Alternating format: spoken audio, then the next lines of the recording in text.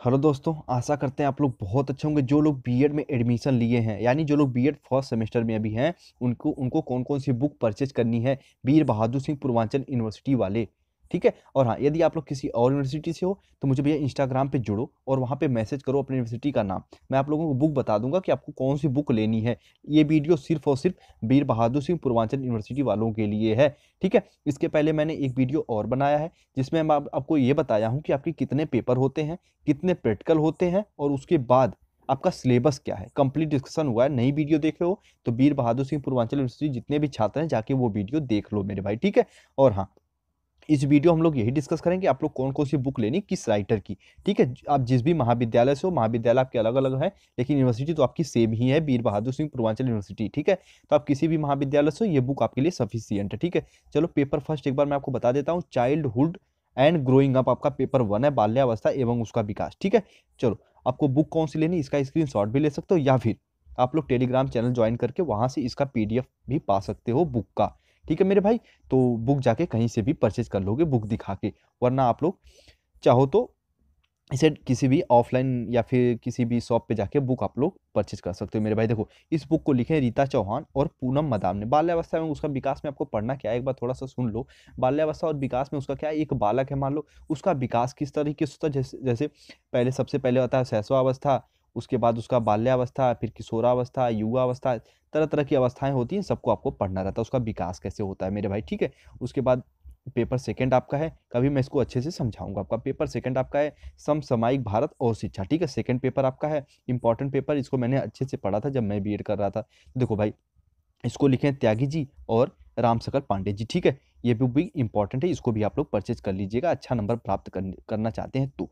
Paper third आपका देखो क्या है अधिगमकर्ता का मनोविज्ञान अधिगम एवं शिक्षण। देखो मेरे भाई पेपर फ़र्स्ट और पेपर थर्ड। काफ़ी इंपॉर्टेंट बुक ये है। क्यों है? क्योंकि अगर इन दोनों बुक को आप लोग अच्छे से तैयार कर लिए तो आपको भैया चाहे आप सी टेट की तैयारी करो, चाहे यूपी टेट की आगे चल के तैयारी करो, उसके बाद सुपर टेट की तैयारी तो हंड्रेड परसेंट करना ही करना है। ये दोनों क्वालिफाई कर लोगे तो।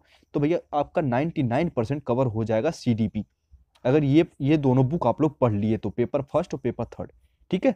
पेपर फ़र्स्ट आपका क्या है? आप लोग देख ही चुके हो। तो बाल्यावस्था उसका विकास और पेपर थर्ड आपका जो है, अधिगम करता एवं मनोविज्ञान का अधिगम एवं शिक्षा ठीक है? ये हुआ पेपर थर्ड इसको देखो रीता चौहान और यशस माथुर जी लिखे, इसको भी आप लोग परचेज कर लेना। ये मैं भैया रिक्वेस्ट आपसे कर रहा हूँ, ठीक है?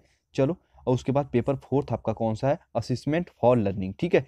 अधिगम के लिए आकलन। बच्चे क्या सीखते हैं, उसका जो आकलन हम लोग करते हैं, मूल्यांकन करते हैं। देखो, आकलन और मूल्यांकन में अंतर होता है, मैं कभी इसको अच्छे से समझाऊँगा। थोड़ा सा टाइम का इशू है यार, नहीं तो मैं इसको ऐसा समझाता, आप कभी नहीं भूलते। ठीक है, मैं कभी इसको एक एक वीडियो में आपको बनाता रहूँगा। एग्ज़ाम से पहले तो मैं आपको कई वीडियो दूँगा ही दूँगा, ताकि आप लोग अच्छा नंबर प्राप्त कर सको, किसी भी यूनिवर्सिटी से हो, देख सकते हो। ठीक है, चलो, ये वो चार पेपर एक बार मैं फिर से आपको रिवाइज करा देता हूँ। पेपर फ़र्स्ट आपका देखो क्या है चाइल्डहुड एंड ग्रोइंग अप बाल्यावस्था है, उसका विकास, इसको आप लोग हंड्रेड परसेंट परचेज करना मेरे भाई। उसके बाद आपका है समसामायिक भारत और शिक्षा।